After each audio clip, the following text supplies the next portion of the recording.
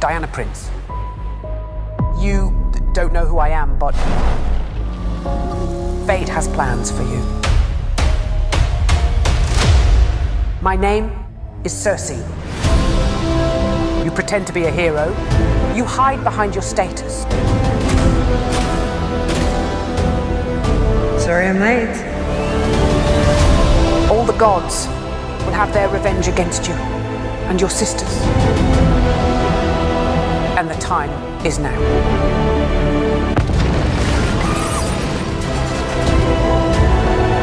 It doesn't mean that what we do is, is easy or feels nice, but the end justifies the means. That's not how I see it.